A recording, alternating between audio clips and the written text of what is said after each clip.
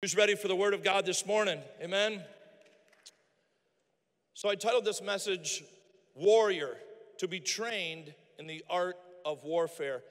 How many of you have enjoyed watching the U.S. team in the Olympics? Amen.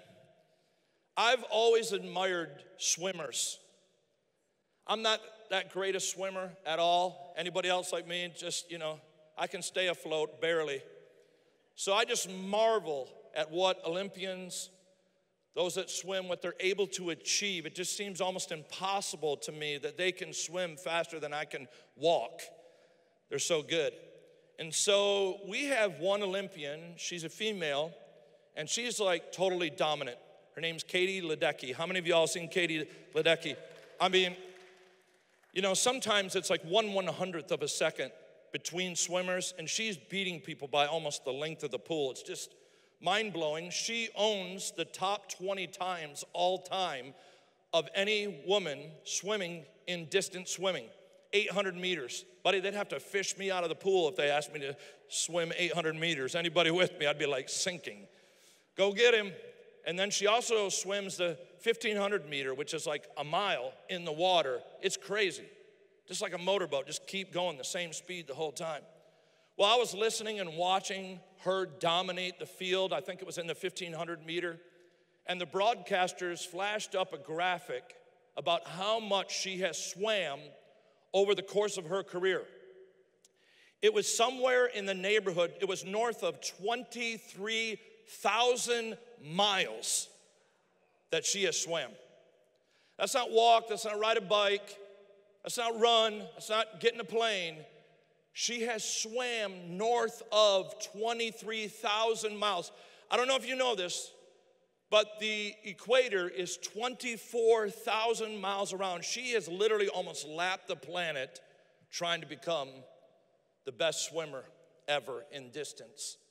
You have to admire someone's dedication and focus to be a great swimmer when they swim all the way around the planet. Anybody else just like, wow, that just blows my mind. Their focus and their determination. I love the intensity that they're involved in. I kind of dwell in that place. I love to be an intense person. If you've never been a part of our church, you're going to probably find that out this morning that I'm a little bit of an intense person. So I love to see people that are so focused and determined and intense.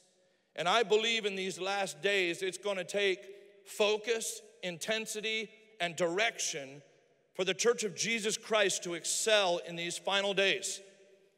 I believe the scatterbrain just kind of getting caught up with things and being drawn away from the very purposes of God, they're gonna have to go. We're gonna have to get focused. Amen? I believe that. As a matter of fact, some of these athletes, they train for years for just 10 seconds in their life. The people that run the 100 meters, the guys, it's actually under 10 seconds. They can do that in under 10 seconds. It's crazy to me.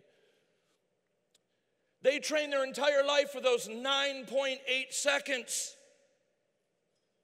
Boy, if we could get the body of Christ to focus and be determined, not turn loose of those things that are important in these final days, I believe that we could maximize our potential impact on any community, on our family. We need to just get focused. I yelled there, say amen. So I want to look at Jesus' life in a pretty unorthodox manner. I want to look at his life through different, a different lens. Before we do that, though, let's read from Isaiah. This is a prophecy of Jesus giving his life and his mindset when he was giving his life. So if you have your Bible, turn to Isaiah chapter 50, or you can look over my head at Isaiah chapter 50 in verse 6. I gave my back to those who strike me. That's obviously a reference to Jesus being whipped before he went to the cross and my cheeks to those who plucked out my beard. I did not cover my face from humiliation and spitting. Again, all references to the moments that Jesus gave his life. For the Lord God helps me, therefore I am not disgraced.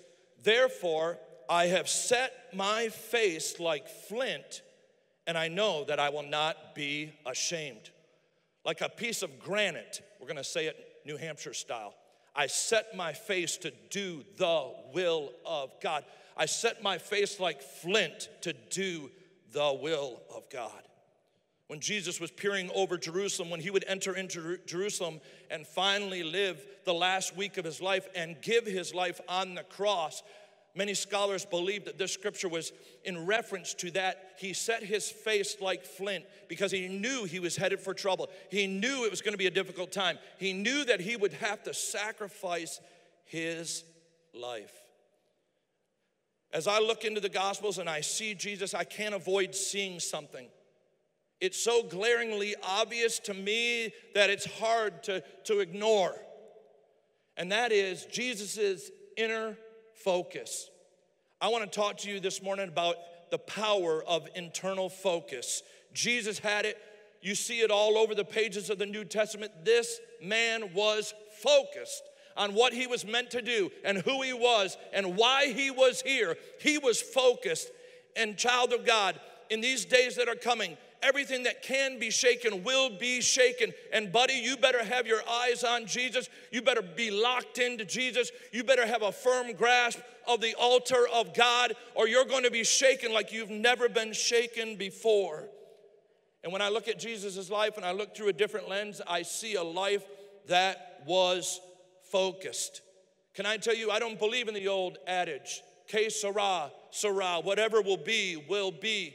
The kingdom of God suffers violence, and the violent take it by force. It's not physical violence, y'all, it's spiritual violence. It's not someone that just kind of oozes into making an impact or oozes into making a difference. It's somebody that has their face set like flint to do the purpose of God. God, give us an internal focus that cannot be shaken by outward circumstances. Amen. How many of y'all know you're attached to something that's eternal? Immovable, unshakable. Those that trust in the Lord are like Mount Zion, they shall never be shaken. Those that build their life upon the rock, the storms and the winds and the waves came, and the house did not fall today. In this day and age, at this time in history, folks, we need to have an unshakable foundation. We need to be attached to the rock, Christ Jesus. So I don't believe in que sera, sera, whatever's gonna be. God, you're gonna do it. If it's gonna happen, you're gonna do it. Now listen, we can't do anything in our own strength. But those that are of the kingdom, they force themselves into the kingdom, and the grace of God empowers them as they see their weakness. And He uses the affliction and He uses weakness to make us strong. How many of y'all know what I'm talking about? You know what it is to live like Jesus, living in His power. We can't do anything in our own strength, but it's time to be locked in and not turn away from our focus, not letting our attention go away, not letting our energies wane. It's time for us to be focused like Jesus was focused. He had a laser like focus on his mission. When you read what's written in red, how many of y'all see that? Jesus was focused on his mission. How many of y'all have ever seen the animated cartoon Up about the grandpa with his house attached to the balloons? He had a dog. The name of the dog was Dog. They reminded me this during worship. I'm like, what was the name of the dog? Dog. I said, okay, I probably won't miss that then. Okay, thank you. And this is him, and sometimes we're like this. Our folk, squirrel, our focus is attached to Jesus and then squirrel. Focus is attached to Jesus, squirrel. I'm going to church now, I'm gonna really try to pray, squirrel. I need to do outreach, squirrel. I'm a worshiper, squirrel. There's a cute girl on the other side of the sanctuary, there's a cute guy over there, squirrel. Like our attention gets drawn away all the time. It's time for us not to be like this dog and up where any wind or wave of doctrine or anything coming down the pipe can pull us away from what we know is important. Listen to me, child of God. There's a lot of things that will scream at you and tell you that it's urgent.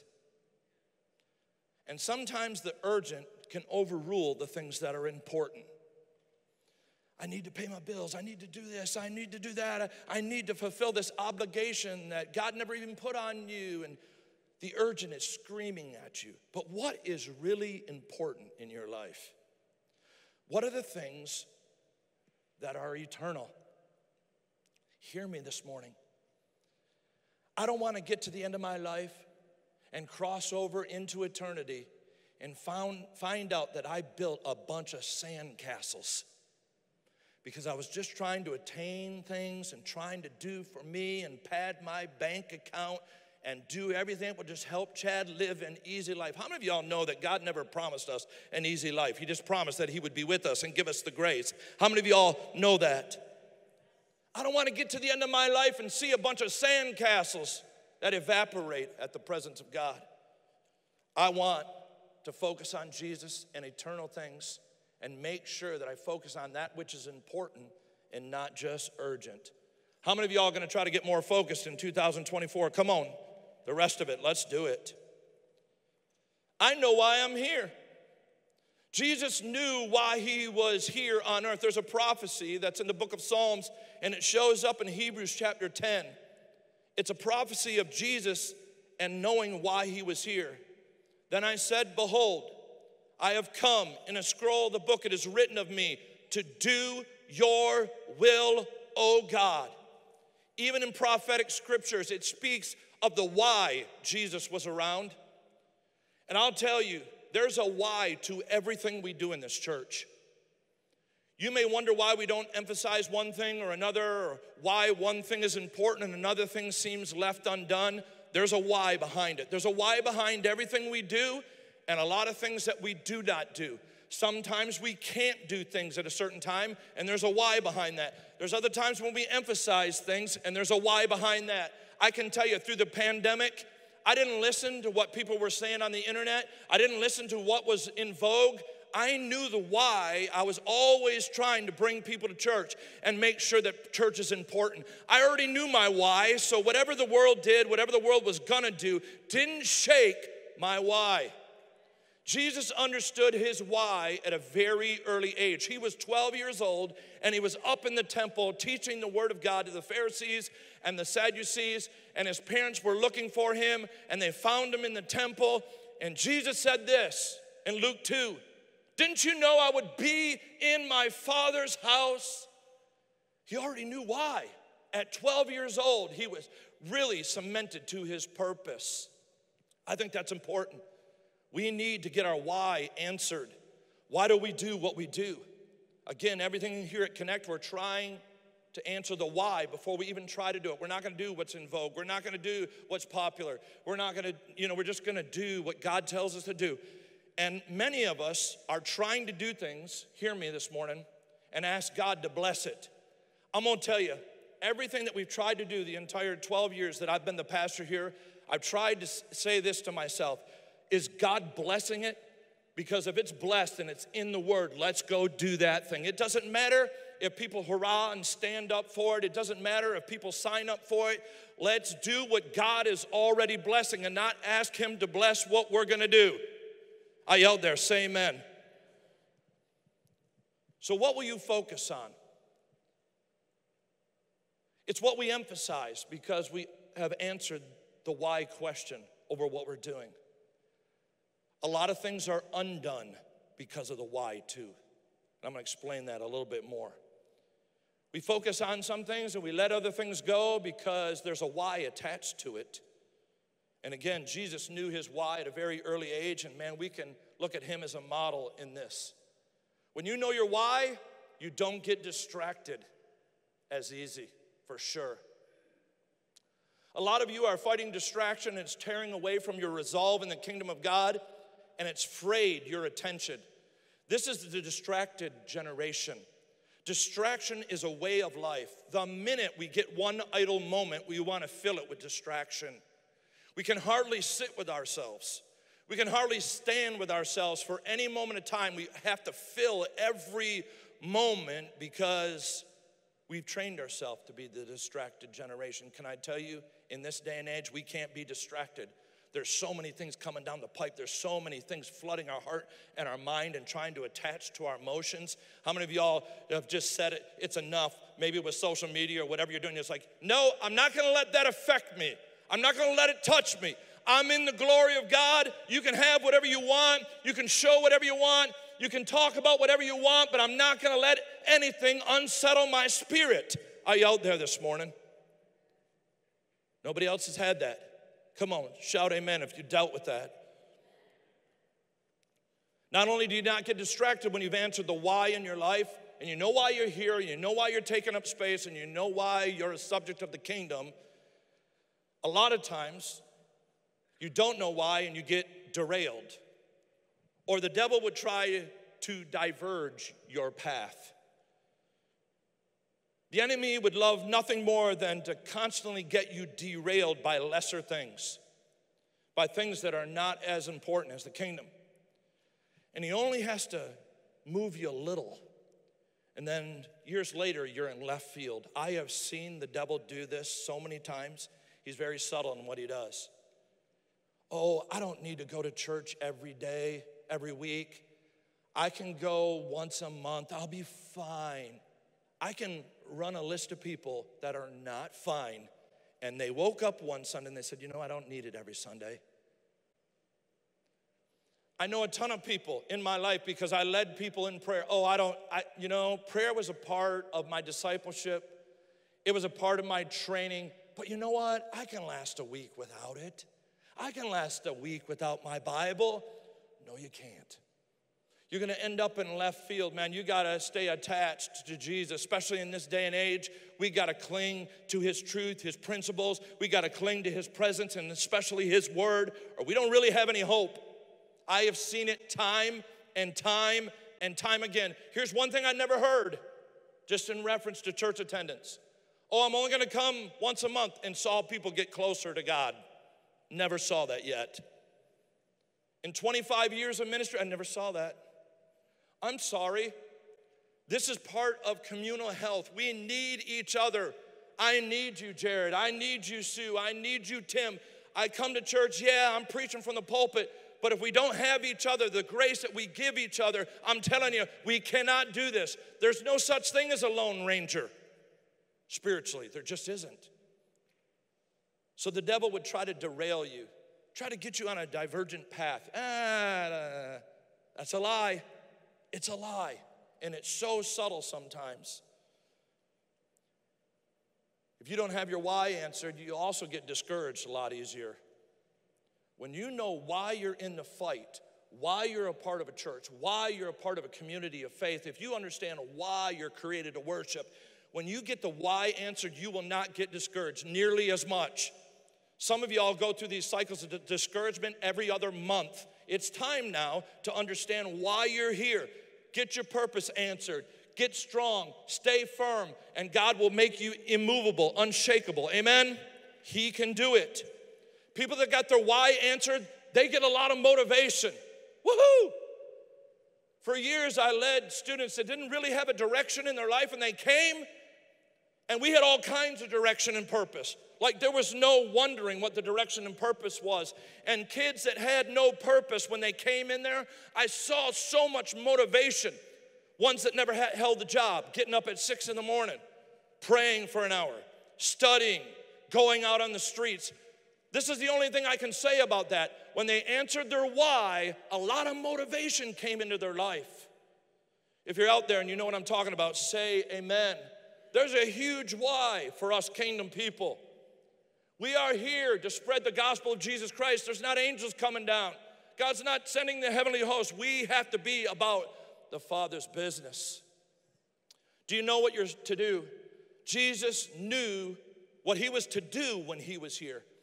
I love the story of the woman at the well. There's like 10 sermons in that story. I love that story. At the end of the story, Jesus has talked to this woman. She gets converted. Amen. Jesus tells her, If you drink from this water, you will never thirst again. Meanwhile, his disciples are in the city getting some food. They come back and they are blown away that Jesus is talking to this woman and they're wondering if Jesus is hungry. So he's, they talk to him about the food, and this is what Jesus says in John 4 34. And Jesus said to them, My food is to do the will of him who sent me and to accomplish his work. Do you know what you're supposed to do in the kingdom? I've seen it over and over and over when people find out their why and then they find out what they're supposed to do. I'm telling you, you can't even beat them away from the church. You can't even, you gotta, you, they just wanna be there. They wanna be involved. They understand that they're taking up space on planet Earth for a purpose and they know what they're supposed to do and they're busy doing it.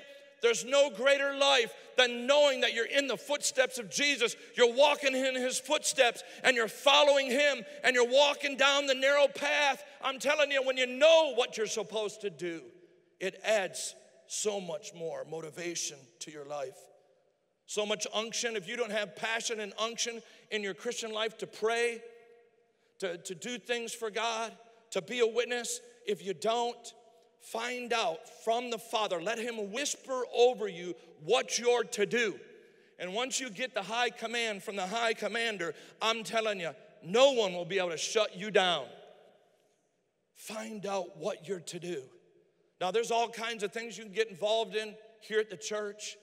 For some of you, it might be something that's apart from the church. Your, your what might be something apart from the church, but there's things that you can readily attach to right here in church to do for Him. Do y'all know the will of God for your life? In the Sermon on the Mount, Jesus said this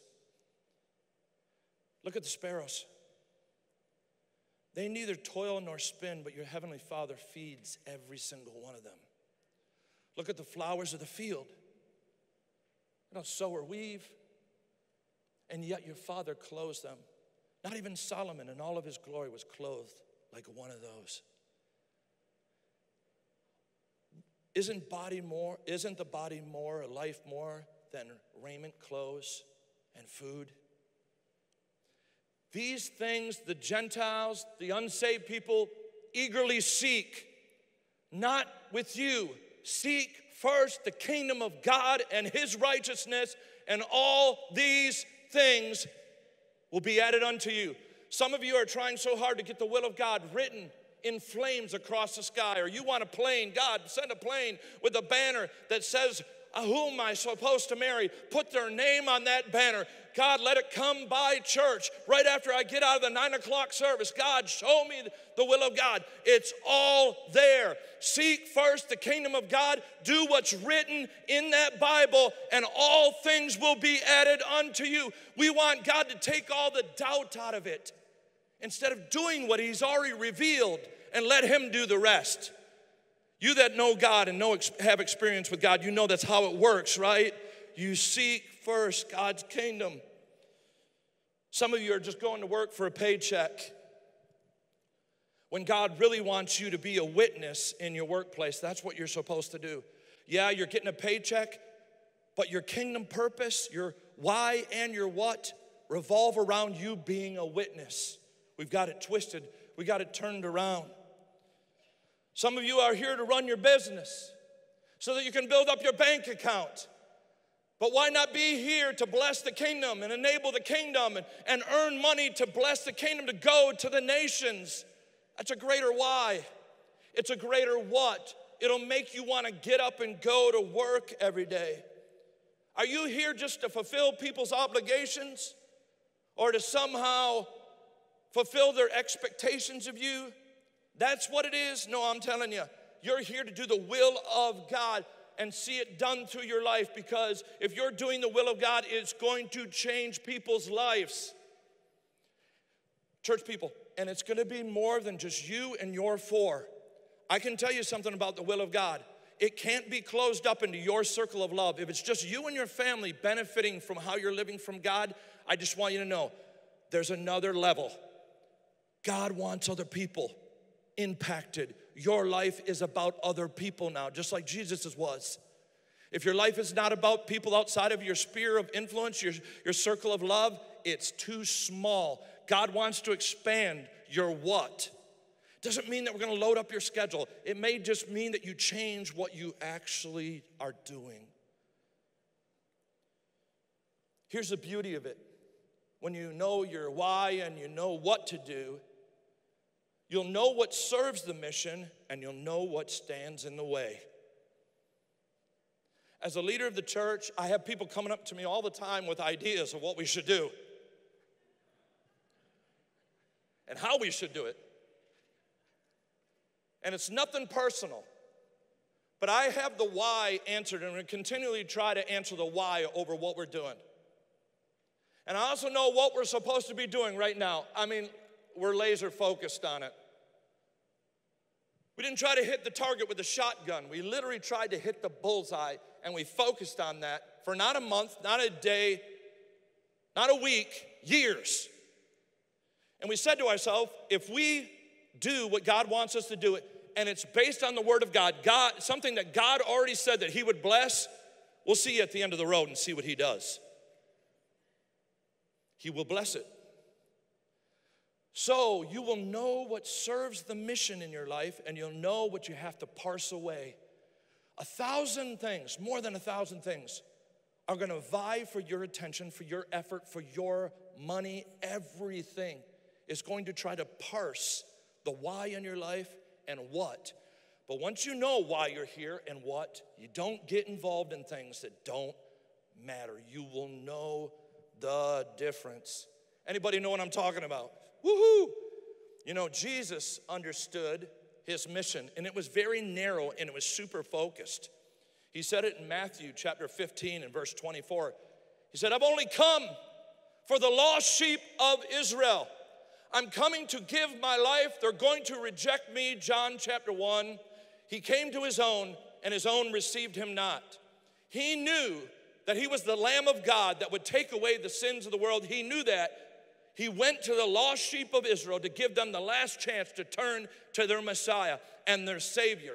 They rejected him. It was written in prophecy beforehand. He came to give his life and he wasn't really reaching the Gentiles, even though we see a spattering of Gentiles reached, healed, or whatever in the New Testament. He, his mission was focused, and he knew what he was not supposed to do, and he knew what he was here for. I believe a lot of people in this room, even though you might not be grasping what I'm saying right now, I think a lot of you need to know why. The why over everything you're doing right now. And then the what. You're being pulled by people's expectations. You're like the dog and up. It's like everything that people expect, everything you it's just like you're jerked all over the place. And God wants that to stop. I believe He wants it to stop today. When you have your why answered and you know what God has you doing, you can decide between what others want you to do, what your flesh wants you to do, what might seem right for you to do, and then you'll know, listen to me, what you have to do. There's a difference.